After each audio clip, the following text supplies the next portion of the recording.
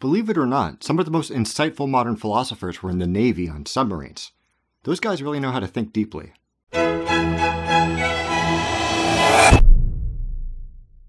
I'm going to describe a fairly typical start to my workday.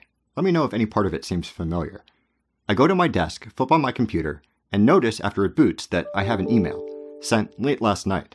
Something critical that requires my feedback so another team can move forward with the project. I start searching through some documentation to answer the question, and my Microsoft Teams icon blinks in the corner of my screen with a message from a coworker, wishing me good morning and asking if she can go ahead and order the parts I left in the McMaster-Carr shopping cart. I type a quick response and go back to my search, just as another email chimes in my inbox. It's a company wide reminder to enroll in the 401k plan by the end of the month. Nothing urgent. I'll look at it later. I find the relevant document, and as I wait for it to open, Teams blinks again with a confirmation from my coworker. While I'm reading and thinking about how to answer the email, my boss taps me on the shoulder to confirm that I saw it. This turns into a quick discussion about how the project is going and what sort of resources I might need to move forward. By the time the conversation is finished, I have three more emails, four more Teams messages, and I've got to start reading the document from the beginning, trying to pick up my train of thought where it left off. Even if we discount the many engineered distractions lurking on our smartphones, many jobs involve a fair amount of interruption and distraction, just as a matter of course. The way most of us work is intensely collaborative, with many different channels for communication and synchronization, a structure that demands vigilance, responsiveness, and continuous prioritization, attention to and weighing of various signals and messages to determine which can be safely ignored, at least for the moment, and which require immediate action. If you ask computer scientist and productivity blogger Cal Newport, we don't bounce from Slack to stand up meeting to SMS because it's the best way to ensure the most fruitful application of labor. Quite the opposite. For Newport, the most important and productive work that happens in an office occurs in a state of intense, unbroken concentration. The frame of mind you might use to solve a particularly sticky math problem or wrap your head around a challenging work of art. The sort of cognitive effort that would be spoiled if something were to distract you. Newport argues that rather than leaning harder and harder into the frantic and insistent hive mind that characterizes modern office jobs, we should find a way to cultivate more of that state, what he calls deep work. Because, as inconvenient as it might be for the work culture that we've grown accustomed to, it produces better results, both in terms of productive output and individual satisfaction with one's work. He's collected a wide array of anecdotes about individuals whose adoption of deliberately slow paced habits has resulted in profound creative or intellectual output, citing those cases as evidence of the power we might be leaving untapped with a frenetic hashtag rise and grind approach to productivity. Take June Huh, a mathematician at Princeton who was recently awarded the prestigious Fields Medal for his work in combinatorics. He says that he can only manage about three to four hours of focused mental effort a day. He splits those hours between writing lecture notes, scheduling out his calendar, and solving problems that have been impenetrable to the world's most brilliant mathematicians for more than 40 years. If you were to drop Huh into a standard 8 to 5 office job, it seems likely his three hour timer would be exhausted rapidly by back to back meetings and urgent emails. Not to mention that being mostly useless for five hours out of his standard workday would probably single him out for a stern talking to by his manager.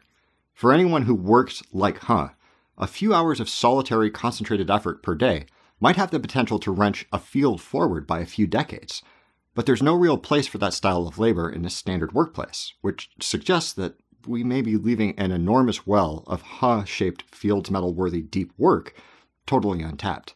Newport also cites a number of psychological studies that seem to support the idea that deep work might be the most effective way of applying cognitive effort to a given problem. For example, Sophie Leroy's research into the phenomenon of attention residue suggests that switching from one cognitive task to another is never a clean process. Some amount of brain power appears to lag behind the conscious effort to change contexts, remaining dedicated to the prior task, and leaving us a little less horsepower to focus on the new one. That sort of psychology seems to lend itself well to a single block of undistracted time, not so well to the distraction rich, multitasking environment of a modern office job. With all these hints at the untapped benefits of focused cognitive labor, you might wonder why we work the way we do. Is there any particular reason we don't see many companies encouraging their employees to be unreachable for some part of the day? Newport suggests that the way we currently structure work is mostly a historical accident. Nobody sat down and said, How should we assign tasks and communicate with each other to be most productive? I know. Let's bug each other constantly whenever we need anything. He posits that the emergence of the hive mind workplace was a path of least resistance thing. After all, deliberately developing systems and tools to minimize interruption of focused work takes time, effort, and a lot of experimentation. There isn't a one size fits all solution to the problem of feedback loops between individuals and teams. For better or worse, email was a useful crutch that kind of got the job done, for a price. Newport cites IBM's first foray into email in the 1980s. The nerds designed an email server to replace all internal phone calls and handwritten memos, and built it with enough capacity to handle that volume of information. Unfortunately, the first day it was active, the system collapsed because the rate of internal communication had increased by five times over that initial value. The hive mind work structure had evolved, and nobody was safe. Anyone with a huge number next to their inbox icon can attest that, on average, the ease with which email can be sent drastically overshadows its value in being read.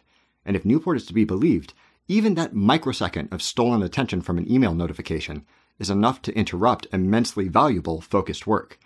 He doesn't think email is the sole problem. It's just emblematic of the many myopic shortcomings we find in the workplace when it comes to deep work. The more general principle here should be familiar to anyone who's heard of Goodhart's Law. The most obvious proxies for useful work have become targets of behavior, leading to perversely unproductive norms that preclude any sort of deep work. For example, the speed of a reply is often taken as a proxy for how attentive or on the ball someone is. There's an assumption that substantial lag time between messages is the result of some oversight, or maybe even callous disregard. The pressure to be responsive incentivizes short, surface level, off the cuff responses. Nothing that would require thinking long and hard about the question, or wondering if there might be more meaningful and valuable responses that can't be formulated in a short window. Busyness is another good example. Concentrated cognitive effort very rarely looks like a flurry of bustling activity. Often it appears as a distinct lack of activity, or maybe some aimless task like doodling or spinning in a chair. If you took a snapshot of a standard office, you probably wouldn't see anyone fiddling with a Rubik's Cube or sitting with their feet kicked up, staring off into space. Contemplation is mostly invisible, and its value can be hard to quantify. So, employers who are worried about employees slacking off may opt to dispel any appearance of idleness, just in case, as well as any potential of deep work. For Newport, it's easy to understand why we've adopted these sorts of norms, at least in a historical sense. He calls it the principle of least resistance. If it's not painfully obvious how a bad policy might affect a company's bottom line, if you don't have a discrete dollar amount of what's being wasted in comparison to some other system, companies will default to whatever process requires the least effort to implement regardless of how much they might benefit in the long run from trying different approaches and seeing what works best. Emails were a rough and ready solution to synchronizing efforts across teams that didn't require any real foresight or planning to achieve that goal. So that's what we all ended up with, without any regard for the damage constant email notifications might be doing to valuable focused work. Internal chat applications like Slack were attractive because they were a quicker and easier way to do the same thing, that just meant that we could interrupt each other even more frequently with even less effort. Again, none of this was irrational in the moment. We needed a way to do a thing, we stumbled onto an answer, and we implemented it. But writ large, considering the potential value of deep work, we might have shot ourselves in the foot by failing to think of something better. Newport's observations suggest that Perhaps, if we really wanted to maximize our productivity and generate the greatest possible advances in fields where an ounce of insight is worth several tons of busy work, we should try to pry ourselves away from the buzzing hive mind model and adopt workplace practices that facilitate that state of deep contemplation.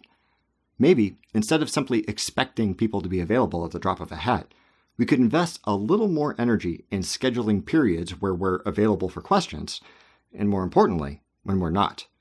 Instead of casually CCing everyone tangentially involved with the project to make sure that they're in the loop, maybe we could use email more judiciously, picking and choosing exactly what sort of messages really need to be in someone's inbox and which would be less disruptive as scheduled phone calls or weekly summaries. Instead of looking for hustle and grind set in a fast paced open plan office, maybe we should give people a little more space to reflect, daydream, and think carefully about their work. And this probably goes without saying, But maybe we should collect every single server that's running some part of Twitter and drop them all into a volcano. Do you think Newport's theory of deep work rings true? Are you also considering adding an hour of isolated thinking time to your day? Please leave a comment below and let me know what you think. Thank you very much for watching. Don't forget to blah blah subscribe blah share, and don't stop thinking.